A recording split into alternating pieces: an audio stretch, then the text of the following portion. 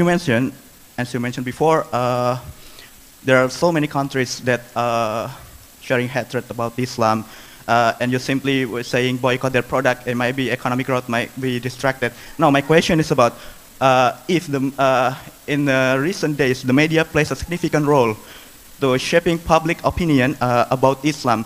How do you think this impact effort to combat the Islamophobia is shared by media right now? Thank you. Okay, first of all, the media tries, but they will never succeed. Because the religion is not mine or yours, it's Allah. And Allah in the Quran said that He will give victory to His word and to His religion. So I have no problem with that. The problem is, what did we do in the media to honor our religion?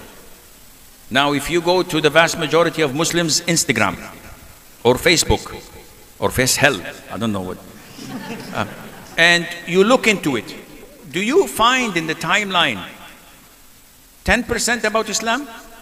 No. You will never find 10%, 5%, maybe 1%. And the rest is all about movies, about women, about their profile picture. I'm, I'm looking like this now today. I'm, I'm and, and you see pictures, what is this? Yani people are proud of their pictures and it's ugly. But they say, no, it's good, it's nice. And you get likes. Likes of what, ya akhi? If you put a picture of a dog, you will get likes. So the Muslims are not honoring their Islam. So the media will continue to write things about Islam, but it will nobody believes it.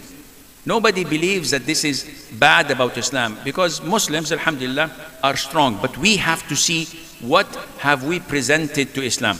So when the media does bad things, what should we do? Burn, demonstrate, protest? No. We write good things about Islam. We be proactive and positive, inshallah. Thank you, Sheikh. Um,